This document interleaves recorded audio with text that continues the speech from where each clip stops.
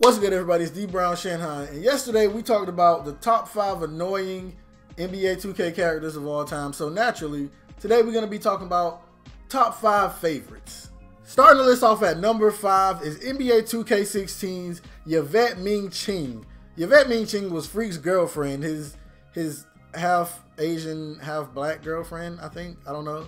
I don't know if they ever clarified that, but that don't matter. What's important is that she shot down Vic's advances at her. I mean, as she's supposed to do, but she also told Freak about it. You know, like she shot him down and she told Freak, you know, she did the right thing as a girlfriend. And as far as I'm concerned, I didn't, you know, I didn't see no gold digger qualities. Everybody was calling her a gold digger, but I ain't see nothing. The only thing I saw was she was trying to make sure her man was good. So that's why she comes in at number five on the list. And I bet y'all probably thought I was gonna say something about her being bad or something. Bruh, y'all think she Doris Burke or something? At number four, we got NBA 2K18's Shammy Wells, your veteran who takes you up under his wing when you walk onto your team. Shammy Wells is dope, not only because, you know, he's your vet, but because he's literally a cheat code. Everybody in the 2K world knows that Shammy Wells will get you a three whenever you need it. He is the most knockdown shooter that I have perhaps ever played with in NBA 2K. And at number three, we got NBA 2K17's Denver Levins. And I know Denver might be a surprise to some of you because I will admit, when the game first came out, that nigga was hella annoying. Every five minutes, this man wanted to hang out with you when there were scheduled practices. He'd be like, yo, you trying to go to the mall, nigga? I know we got practice, but let's go to the mall. Why? But looking back now, you know, Denver was he was actually a pretty cool dude. who was just trying to make a living in the NBA. He was a good teammate. You know, he just wanted to live the NBA life. And how could you be mad at that?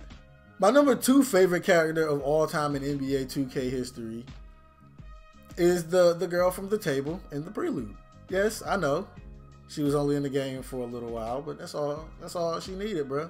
That, that woman, uh, you know, I feel like she would have been a very interesting a very interesting addition to the story. Maybe maybe that could have been uh, DJ's love interest, but after after the way they did it last year, it, it's it's better that he don't even have one because 2K17's the little the girlfriend storyline was, was dumb. You, you didn't have no control over that. It was it was no point for it really, honestly. But the girl from the prelude, she showed a lot of, you know, she showed a lot of range in a little bit of time that she was on the screen. You know, she showed anger. I will go. get to you when I get to you. Come on, I'm trying to I will get to you when I get to you. She showed, you know, she showed compassion. You're good. Yeah. we'll announce the first game in just a little bit. But in the meantime, you can get this over there. Okay. Good luck. Thank you. and she showed that she was funny. So literally in like 30 seconds of dialogue, she she you know she showed that she would have been. Imagine having her instead of B Fresh. Now 2K, we could we could have worked something out with that one. And at numero uno, we got NBA 2K17's very own Justice Young. Justice Young was your sidekick who you made orange juice with, which we all know orange juices.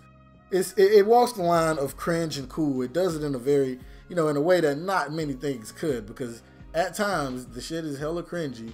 Well, at other times it's like you know the, the orange juice thing. You know when they when they getting hype, it was cool. But the storyline of Justice Young and Prez, one of them being a grounded out player who was a four year dude, and Prez being a one and done sensation, like those two having to interact with each other, like the story was just cool. And then not to mention when you put Michael B. Jordan or Justice Young on that court, he had the chopper, really almost Shammy Wells level, almost not quite though. So those are my top five all time NBA 2K characters. Let me know in the comments who are yours. Do you guys agree with me? Do you disagree? Who on my list shouldn't be on there? Who you think should be on there? If y'all want to see more of these, just let me know in the comments and I'll do another one. Shoot. But if you enjoyed the video, be sure to hit the like button. If you're new to the channel, make sure you subscribe. I would greatly appreciate that. And as always, I'm D Brown Shinhan, and I'm up out of here.